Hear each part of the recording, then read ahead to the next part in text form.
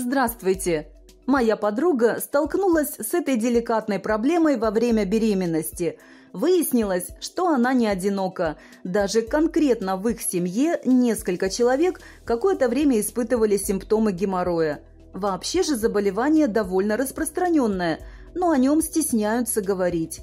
Но у подруги есть дедушка, который любит собирать разные народные рецепты и испытывать их на практике – вот у него и нашелся хороший рецепт свечей от геморроя. Это средство дед сначала с успехом испытал на себе, а затем стал рекомендовать его другим. Конечно, не всем подряд, а кто спрашивал.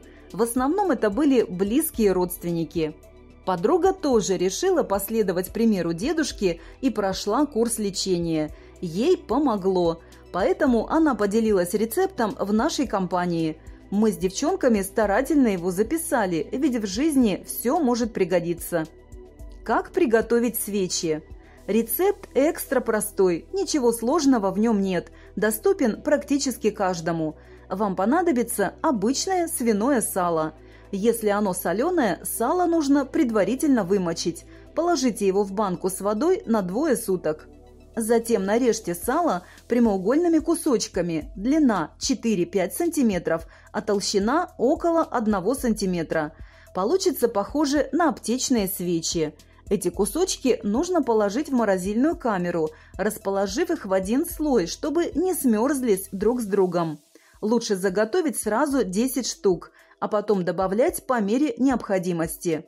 После каждого посещения туалета по-большому подмывайтесь и глубоко вводите свечу. Она должна оставаться до следующего испражнения. Благодаря охлаждающему эффекту свечи быстро снимают боль. К тому же в замороженном виде их легче ввести. Свеча быстро нагревается до температуры тела и начинает оказывать свое лечебное воздействие.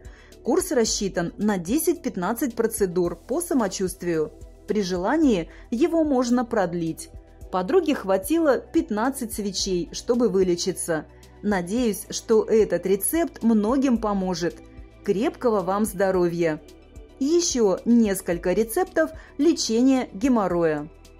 Эффективно втирание в геморроидальные шишки старого свиного сала, перемешанного поровну по объему с перетертой в порошок сухой травой чистотела – можно измельчить и смешать поровну по объему траву медуницы, подорожника, шалфея, золототысячника и полыни, залить в эмалированной посуде одну столовую ложку смеси стаканом кипятка, добавить одну столовую ложку меда, довести до кипения и проварить 5 минут на слабом огне – настоять 30 минут, процедить, довести кипяченой водой до стакана жидкости и пить по 50 мл три раза в день перед едой, а также использовать отвар для примочек и компрессов на геморроидальные шишки.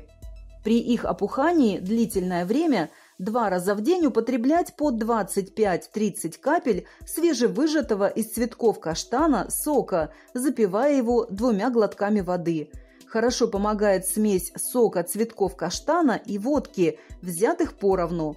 Принимают ее по 30-40 капель три раза в день за 30 минут до еды. Приносит улучшение и настойка осины. Надо одну столовую ложку смеси почек и коры дерева, предварительно измельченных и смешанных поровну по объему, залить стаканом водки – через две недели процедить и принимать по 30-40 капель три раза в день за 20 минут до еды.